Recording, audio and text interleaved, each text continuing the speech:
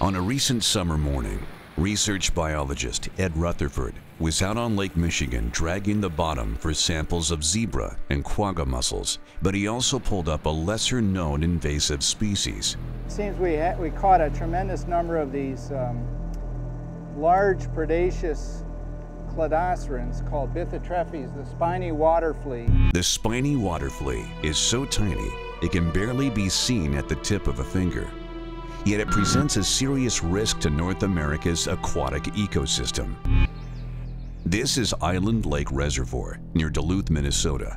It's infested with spiny water flea. The reported densities here, which reach around 100 per cubic meter of water, are among the highest densities in a single lake reported thus far uh, on the North American continent.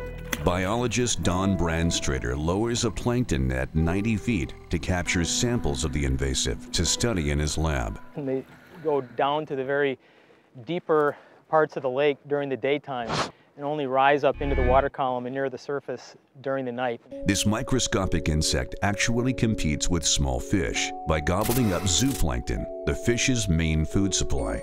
But when the small fish, in turn, attempt to eat the tiny insect, they begin to choke and cough back up that organism. That's because of the flea's long barbed tail, which not only chokes small fish, it clogs up fishing lines Water fleas, they collect on our lines when we're trolling on, on the downriggers, and sometimes we have to stop the customers from reeling in the fish because the line won't go through the guides because there's so many water fleas jammed up on the line. Like so many other invasives, the spiny water flea hitchhiked its way from northern Europe in the ballast water of ships. It first appeared in the lower Great Lakes in the early 1980s.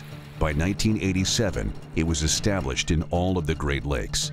The spiny water flea is just one of hundreds of aquatic invasives, just waiting to secretly hitch a ride with unsuspecting boaters and anglers to even more lakes and rivers. So drying uh, does appear to be the only effective means of killing the organism and its resting egg at this point. The diligence of boaters is the best defense we have in the ever-growing battle with the aquatic hitchhikers, known as the silent invaders.